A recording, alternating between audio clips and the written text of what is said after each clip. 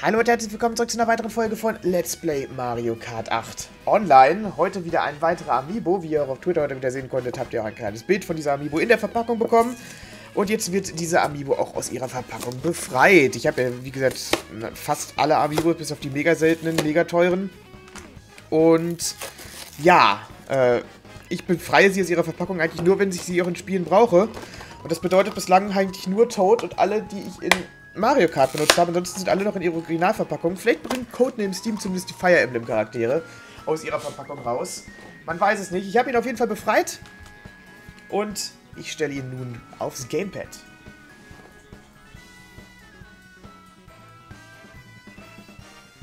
Vorher sollte ich vielleicht noch kurz ins Amiibo-Menü gehen.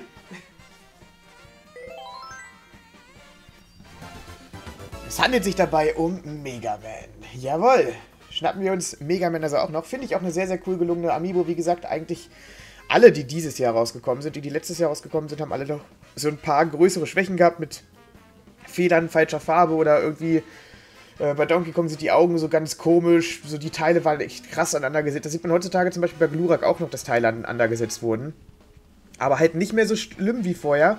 Und auch Mega Man kann ich mir nicht vorstellen, dass der aus einem Guss gemacht wurde. Und trotzdem sieht man eigentlich nirgendwo am gesamten Amiibo auch eine ansatzweise irgendeine Stelle, die zusammengesetzt wurde. Also ich glaube, vor allem bei diesen Drittentwickler-Dingern haben die sich ziemliche Mühe genommen, gemacht. Also Pac-Man auch schon. Und jetzt auch Mega Man, die sind halt auch wirklich extrem detailliert, also auch wenn Pac-Man jetzt nicht ganz so schwierig zu machen war.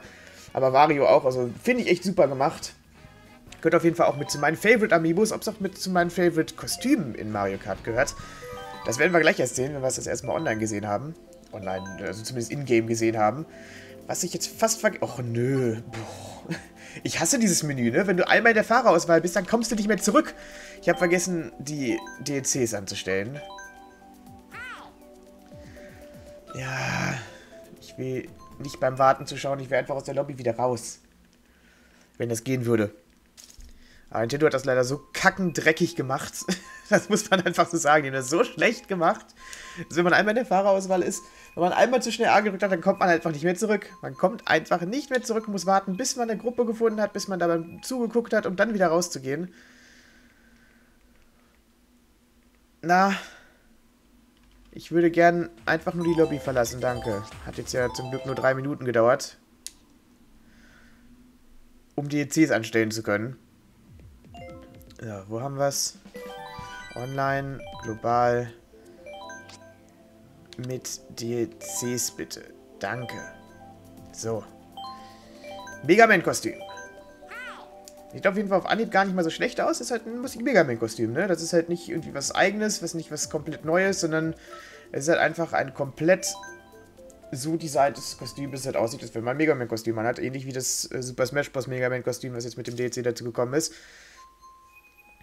ist halt nichts mega spektakuläres, sage ich mal. Ist jetzt nicht so wie zum Beispiel bei Wario oder bei Pac-Man beispielsweise, wo man was komplett eigenes gemacht hat, sondern es ist halt einfach ein klassischer Mega Man, äh, klassisches Mega Man-Kostüm, was aber auch nicht schlecht ist, denn Mega Man ist ja quasi ein, also eigentlich ist es ja, glaube ich, so ein Roboter in der Art, so eine Massenvernichtungsmaschine sollte der, glaube ich, irgendwie sein, wenn ich die Story richtig im Kopf habe, aber er sieht ja quasi aus, als wenn es ein Junge im Anzug wäre. Optisch zumindest sieht es aus, als wenn ein Junge im Anzug wäre. Und jetzt sind wir quasi der Junge, der in dem Anzug steckt. Also, passt, Kostüm passt auf jeden Fall. Wir sind auch nicht zu spät hier in der Strecke dabei. Das war gerade die letzte Runde. Sehr schön. Japaner als Erster. Was hat man sich aus uns erwartet? Toni ist Zweiter. Der fährt mit einem Zelda-Kostüm. Amiibo-Kostüm. Auch hier muss ich sagen, hat man bei der zweiten Kostümwelle meiner Meinung nach auch wieder ein bisschen mehr Bemühungen gehabt. Also ich sehe hier auf jeden Fall bei den Kostümen wieder etwas mehr Details als noch bei den ersten, wenn man sich zum Beispiel das... Oh, Big Blue, bitte. Äh, wenn ich mir zum Beispiel das Link oder das ähm, Mario, das Luigi-Kostüm angucke, die sind halt wirklich sehr, sehr standardmäßig. Sehr, sehr... Ja, halt einfach nur die normalen Standardkostüme. Normale Standard-Rent-Outfit.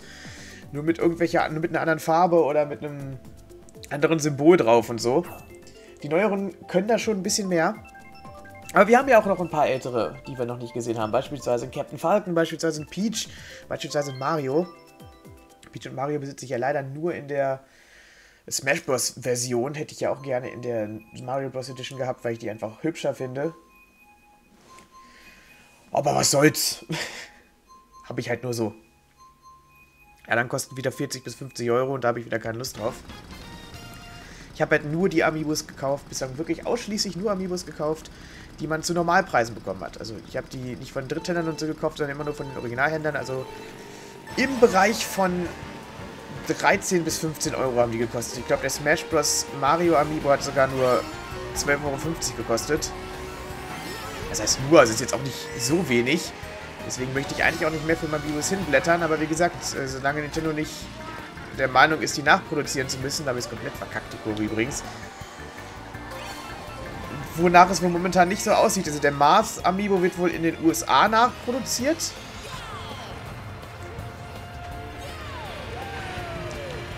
für Europa wurde da ja keine Bestätigung gemacht. In den USA wird der Martha Amiibo wohl nachproduziert, einfach wegen Codename Steam jetzt.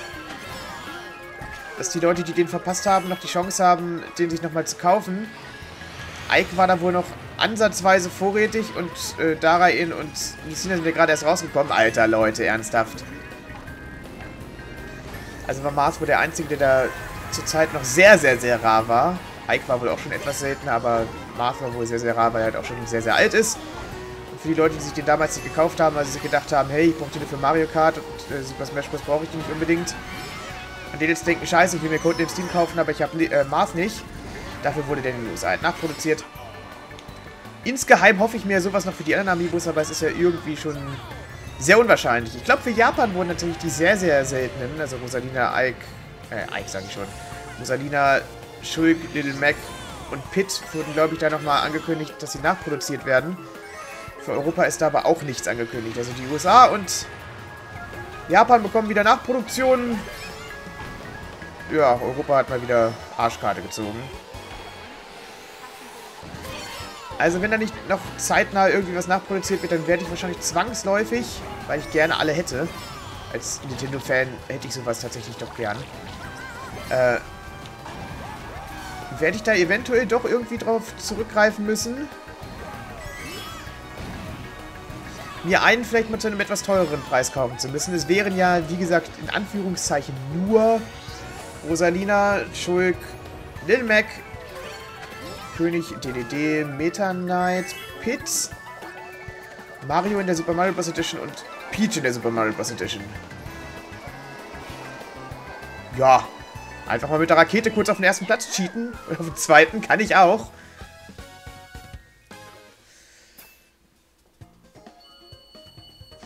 Diese Cheater-Franzosen, das ist ja mal wieder ganz eindeutig gewesen hier. Einfach mal Sekunden vorm Ziel plötzlich eine Rakete bekommen, die bei mir unten gar nicht angezeigt wird als Warnung. Und einfach mal an allen vorbeiziehen und noch Zweiter werden. So hat man das gerne. Hm. Wehe irgendeiner von euch wie die Bowser Großstadt-Kacke. Ich will endlich die Herbstvariante von Animal Crossing zeigen. Dann habe ich meine Pflicht hier erfüllt, euch alle Versionen der Strecken zu zeigen. Also kommt schon. Fubu Weide. Leute, Ernsthaft. Oh, es ist nur eine 50-50 Chance, dass Animal Crossing statt dran kommt. Ja, aber sie kommt dran. Oh, Herbstvariante, komm schon. Eine ein Viertel Chance jetzt. Die 50-50 Chance haben wir schon geschafft. Jetzt können wir doch die, auch die 25% Chance hier schaffen. Ja. Spiel. Es ist die Herbstvariante. Ja, geil. Freut mich. Damit habe ich es jetzt tatsächlich geschafft, euch mit dieser Strecke hier auch noch die letzte Variante der Animal Crossing Strecke zeigen zu können. Und hören wir mal auf die Musik, die hat sich ja in jeder Jahreszeit geändert.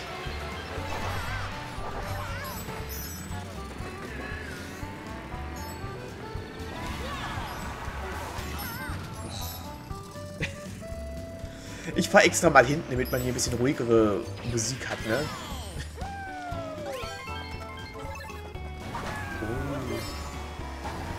Ganz klassische Animal Crossing Musik jetzt. Ach, die erinnert mich an alte Zeiten. Animal Crossing Wild World, wie ich das damals gesuchtet habe. das war echt nicht mehr feierlich. das war echt schon eine ganze Menge. Ich erinnere mich dann noch, wie ich im Urlaub mit meinen beiden kleinen Geschwistern war. In Dänemark. Und da war so Scheißwetter. Das war so ein Scheiß. Das hat draußen gestürmt, es hat geregnet, es hat gewittert und wir saßen hatten halt so eine Wohnung am Dach und das Dach war nicht wirklich dick. Das heißt, man hat wirklich jeden Regentropfen gehört, als wenn er auf eine Plane irgendwie plattern würde. Das war lauter als unter einem Pavillon. Und wir saßen da im Zimmer und haben einfach, ja, den ganzen, nein, nicht den ganzen Tag, wir waren über dem Regen, beim Sturm dann auch trotzdem mal draußen am Meer. Aber haben trotzdem eine, gesamt, eine ganz schön große Zeit am Tag einfach Animal Crossing gespielt. Es war einfach mega entspannt dann. Wenn der Regen aufs Dach plattert und du dann einfach da rumläufst, deine Bäume pflanzt, dein Obst verkaufst, Fische fängst, seltene Fische fängst, ins Museum bringst oder welche wieder verkaufst, Fische mit Flosse suchst. Das ist schon sehr, sehr, sehr entspannend gewesen. Deswegen mag ich Animal Crossing auch bis heute noch.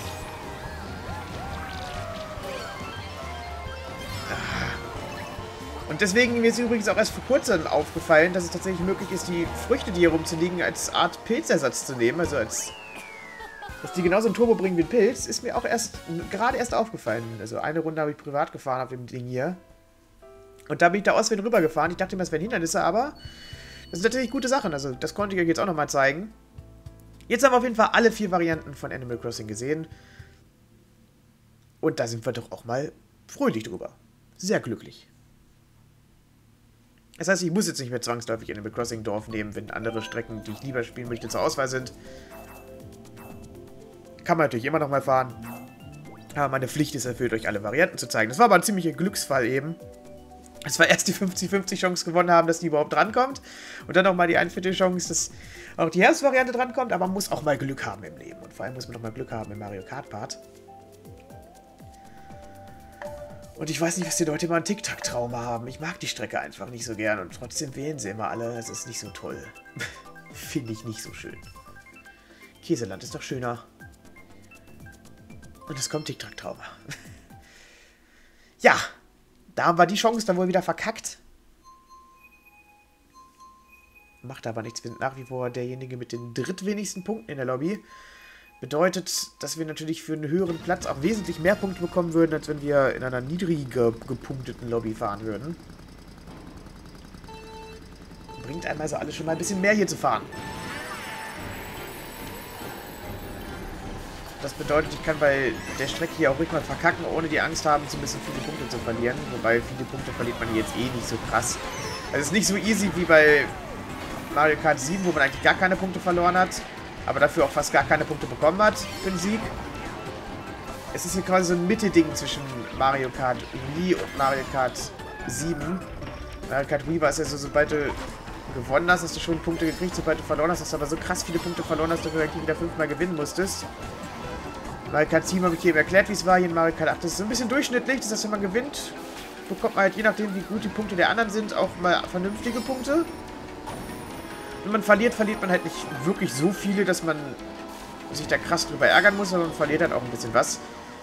Sodass man sich dann halt theoretisch noch irgendwo in seinem richtigen Punktelimit äh, einpendeln kann, obwohl es trotzdem immer noch so ist wie Mario Kart 7, dass man nicht zwangsläufig der Beste die meisten Punkte hat, sondern meistens so ist es derjenige, der am meisten spielt, die meisten Punkte hat, weil man dann doch mehr Pluspunkte als Minuspunkte kriegt.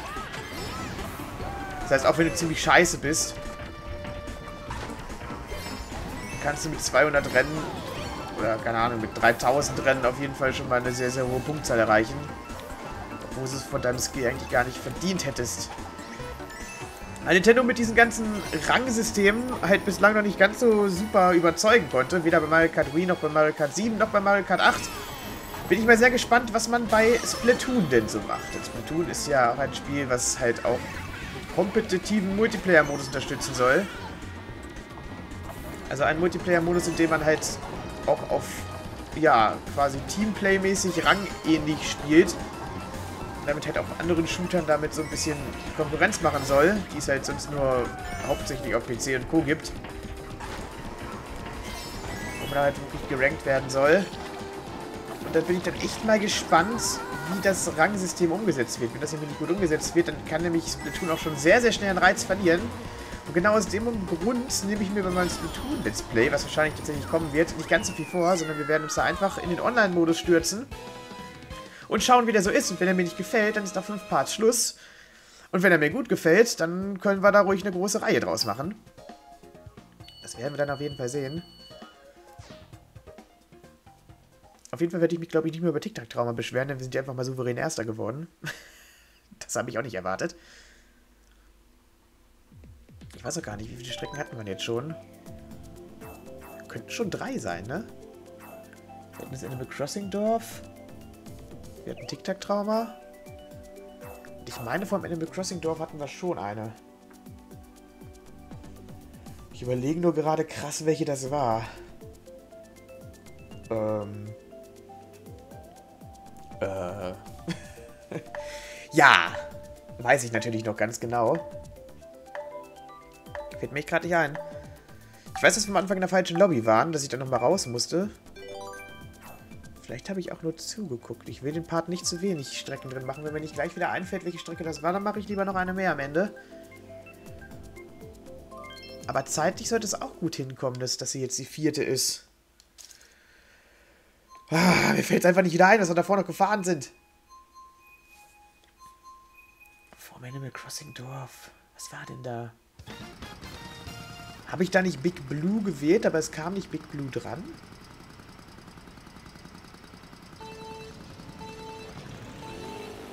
Eigentlich hätte Big Blue gewählt, das war auch äh, die Hyrule-Strecke zur Auswahl, aber es kam eine ganz andere dran.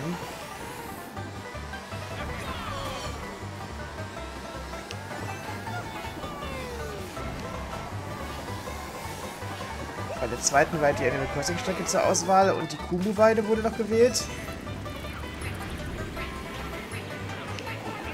Jetzt gerade eben war Tic-Tac-Trauma und Käseland beiden gewählten Auswahlen. Spiel Bavarias Goldmine. Also da muss noch was vorgewesen sein vor Animal Crossing Stadt. Weil, wie gesagt, ich weiß noch, dass ich Big Blue gewählt habe und es nicht dran kam. Mit anderen Worten, damit habe ich jetzt eigentlich schon die Bestätigung, dass wir vier Rennen haben und deswegen wollen wir keins mehr danach machen. Wie gesagt, ich äh, gönne euch das doch durchaus, dass ich auch mal fünf Rennen pro Part machen würde. Eigentlich einfach nur, wenn ich jetzt dazu übergehen würde, wieder fünf Rennen pro Part zu machen, würde ich einfach nur auch ein Part weniger täglich produzieren können. Und ihr somit hinterher nicht mehr davon haben. Weil dann würde einfach einen Tag dann wieder Mario Kart aussetzen. Das heißt, ich mache einfach vier Parts pro Tag und dafür sorge ich dafür, dass es nicht mehr aussetzt. Bis wir mit den Amiibos durch sind. Das ist, glaube ich, eine wesentlich bessere Alternative. Ach, Wario, komm schon. Wird jetzt aber nicht sein, bis es uns dann noch wegramst. Dann hast uns zwar Turbo gegeben, aber... Oh, ich hasse dich. Immer diese Japaner, ne? Immer diese Japaner.